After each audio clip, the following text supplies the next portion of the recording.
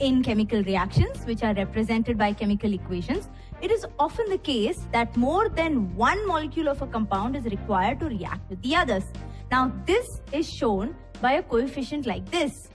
I'll just give you an example. In 2H2O, in 2H2O, there are 2 into 2 atoms of hydrogen, that is total 4, and 2 into 1 atoms of oxygen, that would be a total of 2. In the same way, 2C6H12O6 means that there are 2 into 6 atoms of carbon totaling up to 12. There are 2 into 12 atoms of hydrogen totaling up to 24 and 2 into 6 atoms of oxygen totaling up to 12. Now, let's understand this better with the first thing you did to survive on that island. You burned wood to give fire. The chemical equation for that can be represented as C6H12O6 plus O2 giving you CO2 plus H2O plus fire. Something's not right here. Let's see why. Let's compare the number of elements in the reactants and the products. When it comes to carbon, there are six atoms in the reactant and only one in the product. If you consider hydrogen, you have 12 in the reactant and only two in the product. And finally, if you look at oxygen, there are eight in the reactant and just three in the product. So you can clearly see this is not balanced. And you know very well that mass can neither be created nor destroyed. So we need to ensure that there are an equal number of atoms on both sides of this equation. See, there are many ways to actually balance chemical equation. The most common one is called the hit and trial method, which we will actually go through first. After that, I'm going to give you a very, very easy, sure shot method you can call it a shortcut to balance equations. Now you can clearly see that there are six atoms of carbon in the reactant.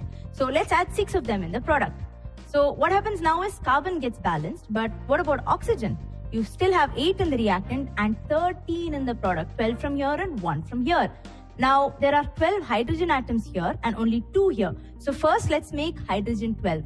For that, what I'm going to do is make it 6 molecules of water. So the number of hydrogen atoms on both sides of the equation get balanced. The number of oxygen atoms are also getting balanced. So that's why it's called hit and trial. Let's look at another example. Fe plus H2O giving you Fe3O4 plus H2. Now to balance this, first you drop boxes around this chemical formula and you cannot change anything inside the boxes of this equation. Now step number two is to list the number of atoms of different elements present in the unbalanced equation. Now if I do that, for Fe I have 1 in the reactant, 3 in the product. For hydrogen I have 2 in the reactant, 2 in the product. For oxygen I have 1 in the reactant and 4 in the product. Now, step three. So it's often convenient to start balancing with the compound that contains the maximum number of atoms. It can be a reactant or a product. Now, in that compound, select the element which has the maximum number of atoms. Now, if I use all these criteria, you can tell me which one we would select. Fe3O4, right? And which element would you select in that? Oxygen. Because you have more on the product side. So first, let's take this Fe3O4 and let's see how to balance the number of oxygen atoms in this. What we'll do for that is drop a little table like this, okay, where we compare the number of atoms of oxygen in the reactants and the products. And we will have it in two steps. We'll call it initial state and final state. So initially in the reactants, how many um, how many atoms of oxygen do you have? You have one in H2O, and in the products you have four in Fe3O4. So what you do is in the reactants you make it four. So what happens is to balance, it will become 4, 1 into 4 in the reactants and 4 in the products. There's one more thing you actually need to remember here. To equalize the number of atoms, you cannot alter the formula of the compounds or elements involved in the reactions. So for example, to balance oxygen, you can put a coefficient as 4, as 4H2O. And but you cannot do it as H2O4 or H2O and then 4. Now the partly balanced equation becomes Fe plus 4H2O giving Fe3O4 plus H2. Now Fe and H items atoms are still not balanced. Pick any of these to proceed. Now what you need to do is make the number of molecules of hydrogen as 4 in the right hand side or the product side because you have 4 in the left hand side or the reactant side. So how do you represent that? Draw up that little chart which we had last time okay where you can compare the atoms of the number of atoms of hydrogen initially and then finally okay? So in the reactants you can see that you have 8 uh, in 4h2 and in products you have 2 in h2 so to balance it what you're going to do is in the reactants it's anyway 8 but in the products you will make it 2 into 4 or you'll make it 4 molecules of hydrogen. What happens to the equation now? It becomes fe plus 4h2o giving you fe3o4 plus 4H2. Now examine this equation and pick up the third element which is not balanced. And you can clearly see that the only element left to be balanced is, yes, it's iron.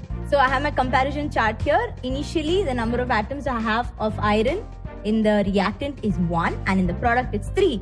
So I need to make it 3 in the reactant as well. So that's what we need to do to balance as you can clearly see here. So in the reactant I'll have 3 and the product I'll have 3 as well. What does my equation become now? 3Fe plus 4H2O giving you Fe3O4 plus 4H2. Next step, step 6 is to check the correctness of this equation or this balanced equation. And what you do is count the number of atoms of each element on both sides of the equation. So Fe you have 3 and 3, H you have 8 and 8, and O you have 4 and 4. So now the last step, step number 7, is to write the physical states of all these elements. Add that and your balanced equation is now ready to go. Yes, it's finally time to look at that amazing shortcut that I promised you that I'll give you. So what we're going to do is take the same example. Let's solve that example in just two steps so that you can clearly see how easy it can actually be. Let's write out the same equation, Fe plus H2O giving you Fe3O4 plus H2. Now you don't know, so assume that there are A molecules of Fe, B molecules of water, C molecules of Fe3O4 and D molecules of H2. So I'll consider Fe. I have A molecules of Fe on the reactant side and 3 C molecules of Fe in the product side.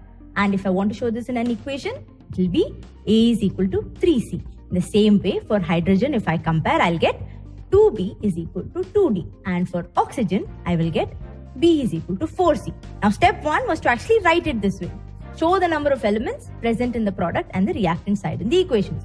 Next, let's assume, let's assume the coefficient of the biggest molecule to be 1. Which is the biggest molecule? Fe3O4. So assume C to be equal to 1. Now it's so simple. Since C is equal to 1, what is A? A is equal to 3 from the first equation and B is equal to 4 from the third equation. And finally, D is equal to 4 because B is equal to D from the second equation. So what's your balanced equation? 3Fe plus 4H2O giving you Fe3O4 plus 4H2. You can do a quick verification if you want, but trust me, it is not required. This equation is 100% balanced for sure. If you like this video and want to watch many many more amazing videos like these, like and subscribe to our channel now.